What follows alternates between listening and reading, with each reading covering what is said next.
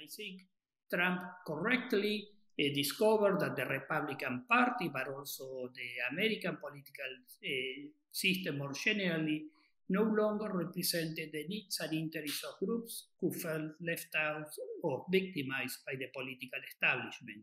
He successfully mobilized them in the primaries during his presidential campaign, during his tweeting presidency, in, in, the, in the last campaign, and most recently in by his encouragement of the Stop the Steal mobilizations.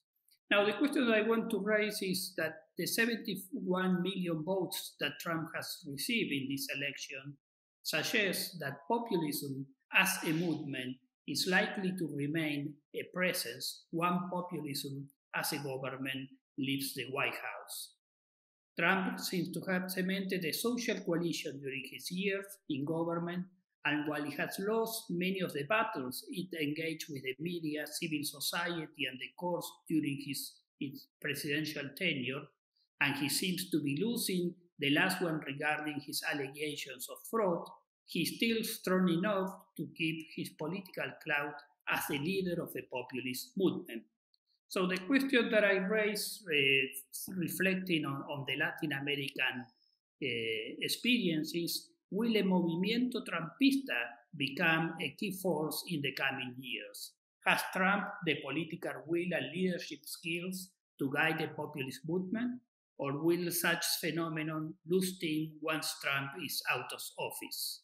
These, I think, are some questions that will condition the future of US democracy in the short term.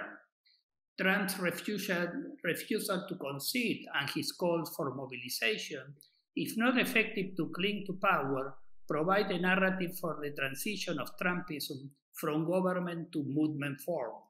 Any electoral defeat is an existential threat to, pop- to a populist narrative.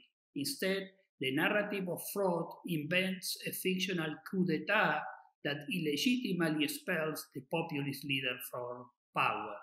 If one looks at the Latin American experience, there are numerous examples that confirm that such a transition can still keep the populist coalition alive in a movement form that resists the authoritarian behaviors of, a, of what is considered a deep state controlled by elites. If such transition occurs, the American political system will be forced to respond to the destabilizing politics of a civil society rooted populist uh, movement.